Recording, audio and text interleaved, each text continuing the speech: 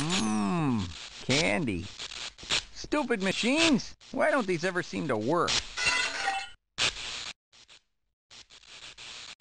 Hey, uh, you wouldn't have a quarter I can borrow, would ya?